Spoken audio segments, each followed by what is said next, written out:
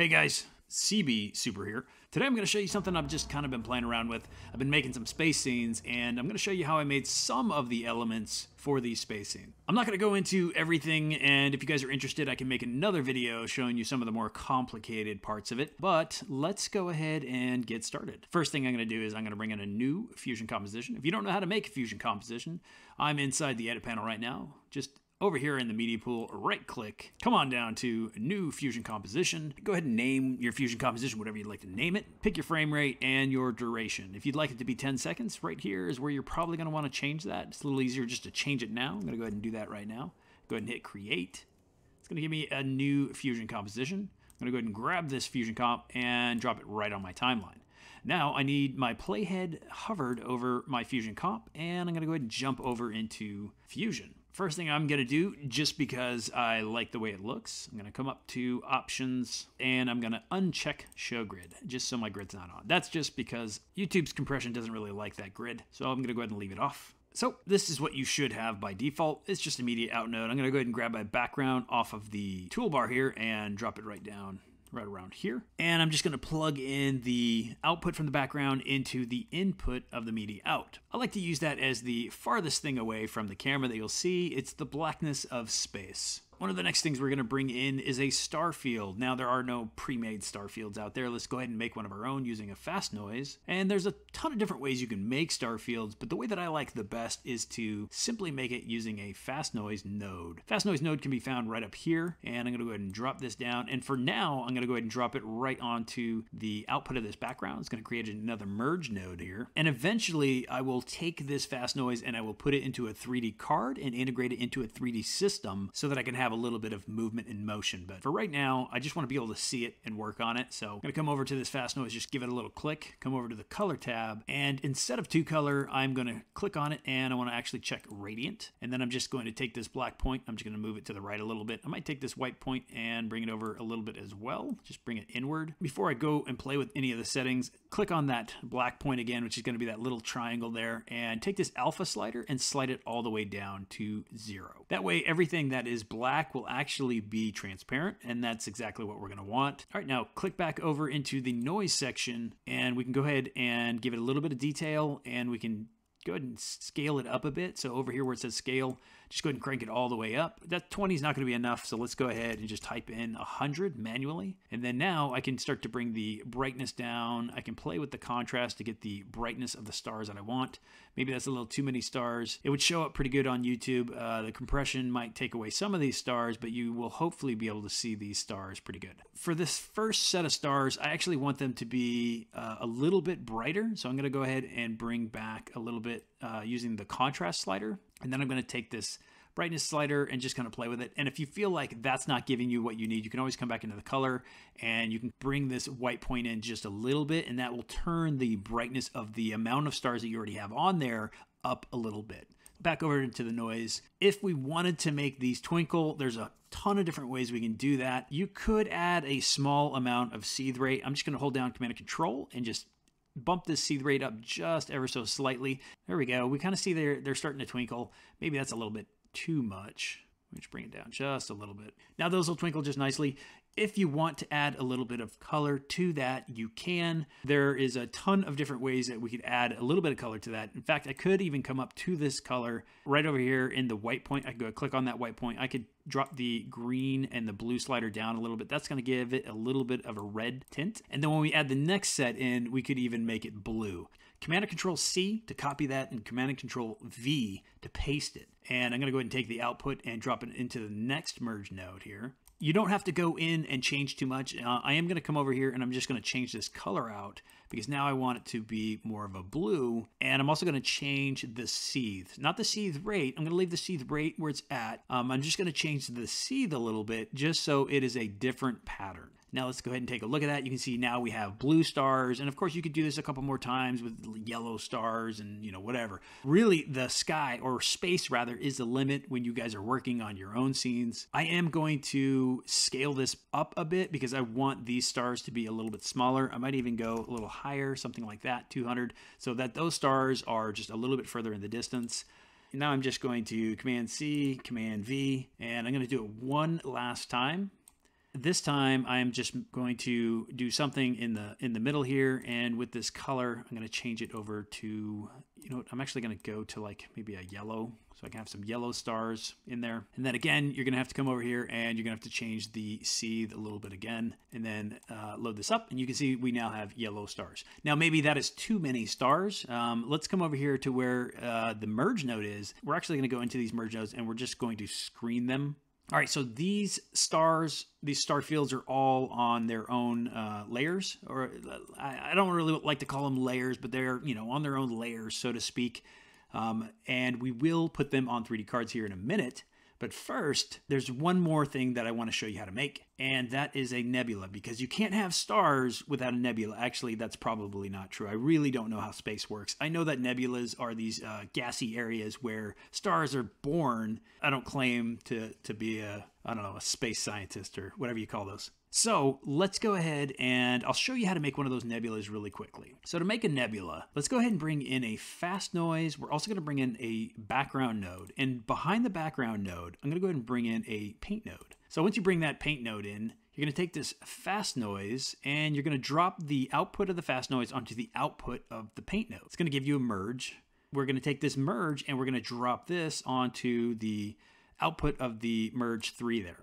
So now we've kind of connected them all. There's still a few more things that we need to do. First thing is you'll notice that my playhead over here is on frame 80. I When I start this, I absolutely do not want it on frame 80. I'd, I'd like it to be all the way back over to the beginning of my composition. So I'm going to go ahead and take this. I'm going to drive it all the way back over to the left-hand side because once we start painting, wherever we start painting is where that paint is going to exist from. Um, we also have to go into the stroke duration of the paint node. So go ahead and click on that paint node where it says stroke duration. Go ahead and turn it up. 30 is not going to be enough. You see, we have 239 or 240 frames because the zero frame is where it starts. So we have 240 frames. We need to cover at least 240 frames. So I'm going to go ahead and double click in here and I'm just going to type in 300 because 300 is more than 240. You can put just 240, but I like to give myself a little leeway in case I do want to extend that animation a little bit. All right, there's a few more things that we need to do with this paint node before we can actually start painting. One of which is, let's go ahead and turn this opacity down just a bit, maybe like 0.3, somewhere around there. Make sure you're on the paint can. Change it to a nice vibrant color. I'm gonna go with maybe a nice vibrant orange for now. And I'm gonna come up to the brush controls. I want a soft brush, I want it large. Um, if we look at the actual, I'm going to take this merge node and I'm going to load this into my viewer. And I'm just going to hold down command and control and I'm just going to scroll out just a little bit just so I can see the entire frame there. And then I'm going to take this media out and I'm going to drive this into the right side over here. Again, just command and control, scroll out just a little bit so you can see everything. Back over here on the paint node, I want this size. You can see what the size is. It's probably not going to be big enough. So I'm going to actually double click in the size and I'm going to just type in 0.3. 0.3 is pretty good. And the softness, I'm going to turn it up just a little bit. Now in this fast noise, I'm going to want this fast noise to look a little bit more like clouds because when we're talking about nebulas, you know, they're gases and clouds, they're space clouds, space dust, if you will. Uh, nice breeding ground for stars. So what I want to do is I want to come into this fast noise and I'm going to turn this detail up a little bit. You can see it's starting to look a little bit more like clouds, like smoke, like dust. I'm going to want to scale this up until, you know, basically until I'm happy. Now come over to the color side and we can leave it on two color. That's fine. Um, I just want to make sure that this alpha is turned all the way down though back over into the noise. You can play around with whether you want discontinuous and inverted selected. You can get a pretty cool like electrical feel here and we'll play around with that a little bit later in the next video when we start going into uh, building the sun. But for now, we're just going to leave it uh, with discontinuous and inverted checked off. You can also give it a little bit of seed rate if you'd like it to move. There's a whole bunch of different things you can do with fast noise and I have a ton of videos on this specific node. It's one of my most favorite nodes and I use it all the time. But that being said, let's go ahead and jump into the paint node and and we're actually going to paint a little bit. So when using the paint node and using this, uh, this method, you're going to need to come over into this merge node and you're going to need to change the apply mode from normal over to color dodge. Yes, it goes black. If it doesn't go black, then you just need to come over to the merge node and hold down Command or Control T, and that will swap the inputs. You don't want to be able to see this, the clouds. You want to be able to see it in black, and it'll make a whole bunch of sense when we actually start painting. All right, so with the paint selected, you're going to want to just use the mouse. You can use uh, a Wacom tablet if you really want to. We're not going to get too crazy with it. You'll notice that when we just start dabbing here, we are creating a nebula. If you press it a couple times, you'll get like some uh, some more highlights, and it gives it a really uh, you know kind of like neat, cool effect. You can also play around with adding stars and whatnot in here. And to add like a like a star into this nebula, it's pretty easy. You just click on the uh, image icon here. Over here under brushes, you're going to want to click on where it says ball metal. Just left click on there, and you can scroll down here, and you'll actually find some four, five, six, seven, eight-sided stars. Just pick whichever one you like, and you can see what what it what it's going to do is it's going to drop down this star. Maybe put it in here somewhere um, the nice thing is that uh, it it gives it just like a kind of like a, a, defined you can see that star in there a little bit. One of the things that uh, i do like to do is i actually like to put this star on its own layer. And when you put it on its own layer it, it really looks cool. Um, but for for right now i'm just i'm actually just going to keep this color. And that way I can add a star and it's not going to look too crazy. Um, you can also go with like a completely different color Let's go ahead and maybe make it a little bit bluer and maybe we'll take the opacity down and then size it down a bit. And then now you can put these in here and it's going to look kind of like, you know, there's, there's stars being born in there. Um, once we throw some kind of rays on this or, or even like a hot spot uh, node on this, uh, you'll definitely see it change quite a bit.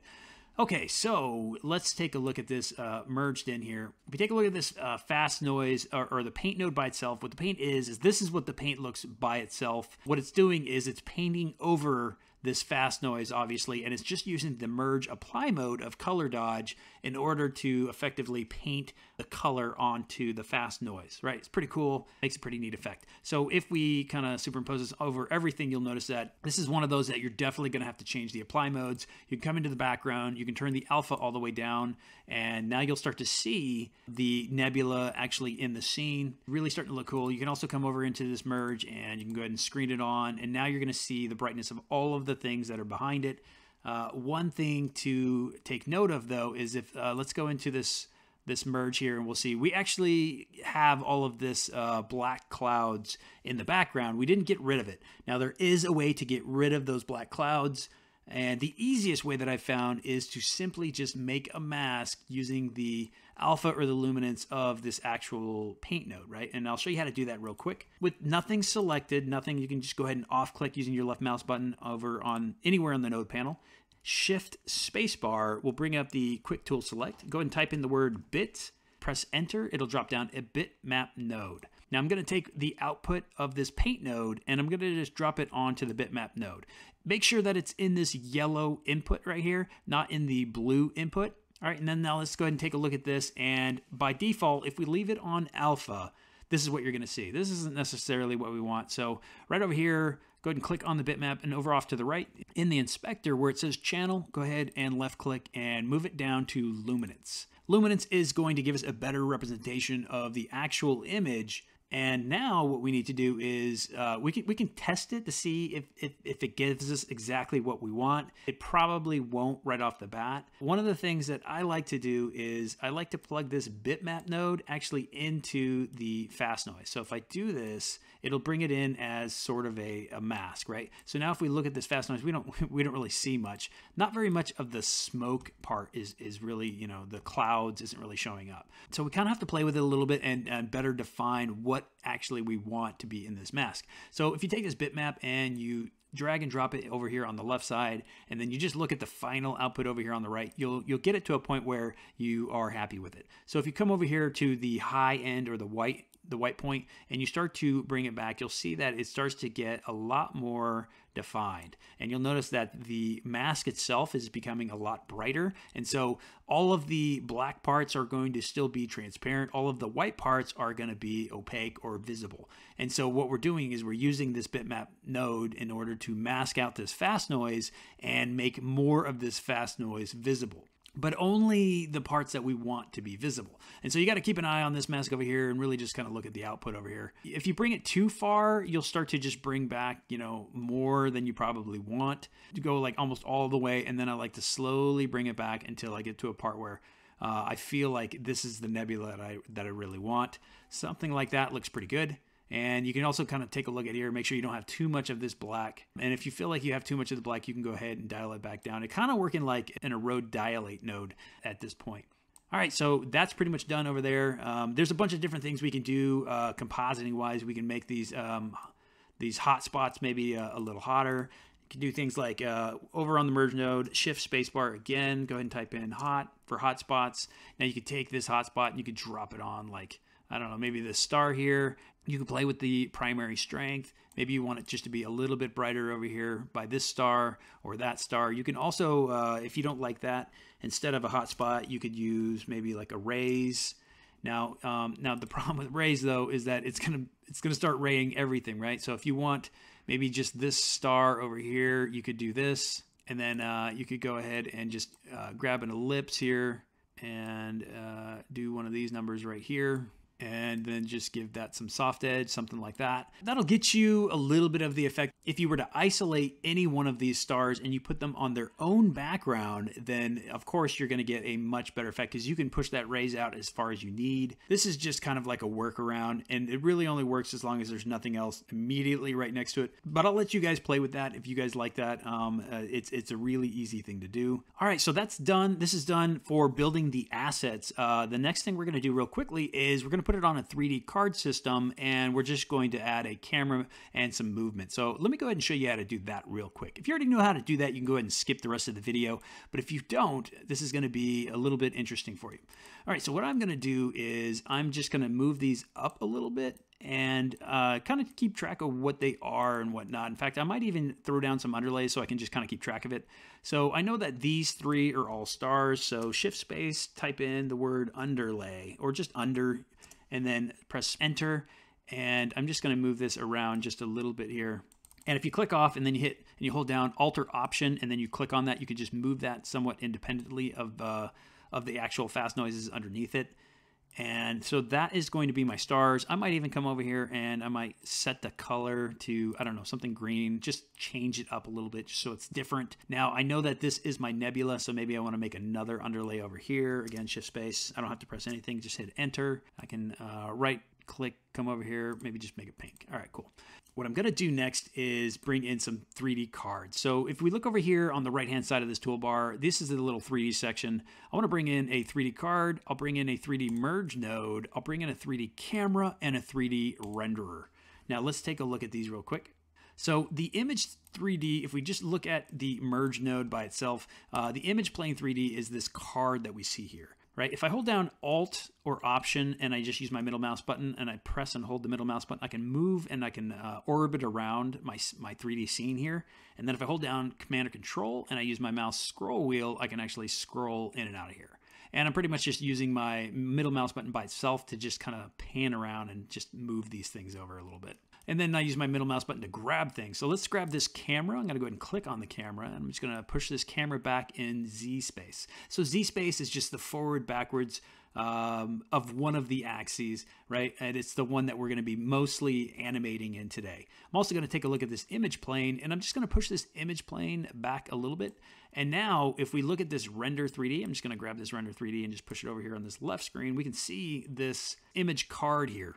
And if I was to move this image forward and backwards, we can kind of see that it is moving, but it's only moving in relation to, you know, the camera and what the camera sees. Obviously, if I was to move it up, it would move it out of the camera, and we don't want to do that. So Command and Control Z to undo that. You kind of get the instance of what, what's going on. Now, everything that we build needs to plug into this 3D merge and it needs to be rendered out to this render 3D node. Now in this render 3D node, this node is what's actually going to connect to our scene and so we can actually see this all together. So I'm just going to make a little bit more room on my node panel. I'm just holding down command and control and I'm just scrolling in and out to make a little bit more room. And I'm just going to disconnect each one of these star fields and I'm going to disconnect this nebula. And I'm going to place one of these image planes under each one of them. So I'm going to just bring in uh, a couple more of these. So I'm just going to grab, using my left mouse button, I'm just going to grab it. I'm just going to drop it. Um, I don't necessarily want it to merge in. So I'm let me just go ahead and disconnect that. And I'm just going to take these image planes and I'm just going to drop them underneath. Now I'm going to take these fast noises and I'm going to drive them into each one of these image planes.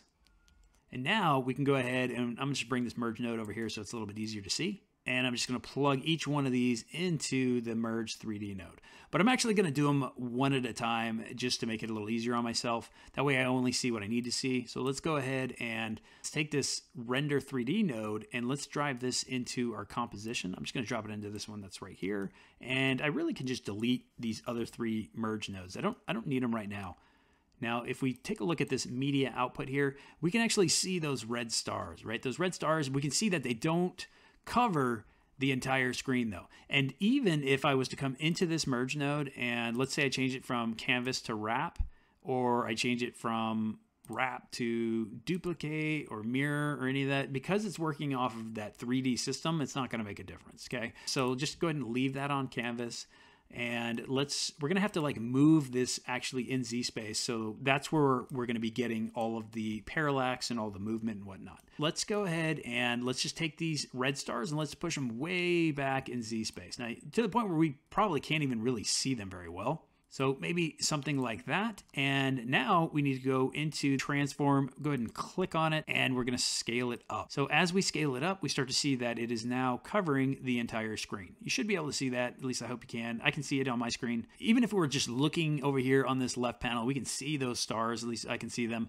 And then of course we can see them pretty well over here. And if you need to see them better, you can add things like soft glows, um, in fact, you could actually add a soft glow after these fast noises if you just want to make it a little bit easier on yourself. Um, and there you can kind of see them just a little bit easier. And of course, you can blend that down if that's too much. But uh, I think it looks pretty good and it'll probably show up a little bit better on YouTube. What I'll do is I'll just add a soft glow under each of these and then um, we will obviously work on more compositing later you know, it'll just get us going for, for right now. Cool, that's one. Let's go ahead and let's merge another one into this merge 3D node. And we'll notice that we see the stars now. It's starting to look maybe a little bit messy and we'll clean that up here in just a minute. But let's go ahead and push this one back. We don't want it to be in the exact same spot as those. We want there to be some parallaxing. So let's go ahead and put it, I don't know, maybe a third or, or maybe two thirds of the way back. And let's go into the transform and let's go ahead and scale that up now. And again, you just need to scale it up to where you can actually see that it is covering the entire screen. Um, we will be animating this camera. Uh, we'll do that here in just a minute. This third image plane with this third star fields, and now we can see that the, there's even those yellow stars now. These yellow stars are going to be a little bit larger, and so they're going to be also a little bit closer to us, maybe like one third of the way back. Now, let's go ahead and just make sure that this is big enough. We can kind of play around with it. Maybe, maybe the blue stars and the red stars we can see too well. Um, we can obviously dial those down. In fact, now that I look at this, I'm definitely going to dial some of this uh, soft glow down. I think it's just way too bright. So let's go ahead and dial some of this back. There we go. That's looking a little bit better. In fact, I'm also going to come into the noise and I'm just going to turn a little bit of this brightness down because I feel like I have just too many stars. But if you like that amount of stars, then by all means, um, you know, tailor it to how you want it and just kind of go from there. I think looks a little bit better. And then, of course, when we get the camera movement, it's going to make a whole lot more sense. In fact, let's go ahead and move and animate that camera right now. So I'm not going to move this camera too much. Um, what I'm going to do is I'm going to come over here to the camera. I'm going to come into the transform. You know, we're just going to animate this Z space for right now. So let's go ahead and click on the keyframe for animation for that. And let's move to the very end of this uh, of this composition and let's just push it in a little bit. We can see that the stars are, are, are moving a bit and that looks pretty good. And now if I push this all the way back and I press the space bar, you can see that it is animating. And the nice thing is that you're to get a parallax between each of the stars because they're all staggered at different locations, right? So as it moves through, it will you'll see it, it'll look like the stars are moving towards you, which is pretty cool and that's kind of what we're going for. But we're not done. We still have this nebula that we can play around with. So let's go ahead and add one more image card and we're going to plug this rays into that image plane and then drop that into the merge 3D. There we go. It looks pretty big and it is really big and we're actually we want it to be about this size or at least that's what I want that's what I'm going for. The only thing is if I was to press play now it's really close and so we get there really fast and actually we'll, we'll end up passing straight through it which is cool and I'll show you how to do that in the next video. But for right now let's go ahead and let's push this image plane back a bit in Z space and then we're going to go ahead and size it up. So let's go ahead and make it larger until it's about the size that I want it. So maybe something like that. And now when I press play, you'll see that it'll move towards it, but it won't move to, towards it so fast. There'll be some parallax between the stars and the, you know, the uh, everything behind it. And then there's one more thing that I'm just going to add for good measure, and that is I think I want to add like maybe a, a cool uh, star of its own. So let's go ahead and let's bring in a, a background node, and we can just leave it black for right now. Let's come over to the effects, and we'll come over to templates. There's actually a ton of lens flares. If we just click on this lens flares here, and we go down here, and we could pick any one of these lens flares. There's a ton of them out here. In fact, um, I think I'm going to use this. Uh, I don't know. I'll just I'll just pick this one right here. Let's go ahead and take this background, drop it into the background, and then uh, take a look at it. This one, wow, that one's a little wild. Um, but yeah, let's go ahead and we'll go with it. I'm going to turn off all of these auxiliary elements just because I don't think I'm going to be needing them for right now. And that way I just have this, uh, this star. And while I'm at it, I'm actually going to turn this alpha down. And I'm also going to uh, use a blur on this.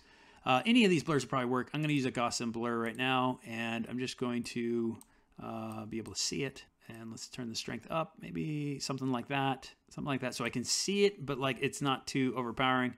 And I also want to maybe maneuver it so it's somewhere here in the center of the screen, and maybe